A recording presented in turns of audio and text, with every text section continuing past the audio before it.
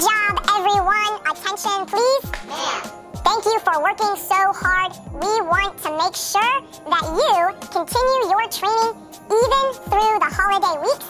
Make sure you get your two classes in every week. Let's bow and show respect. Say thank you, instructors. Thank you, instructors. Santa needs us.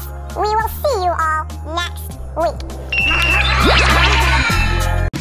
If you liked this video, or even if you didn't, like it, subscribe, hit that bell icon so you can get more awesome UpLevel videos.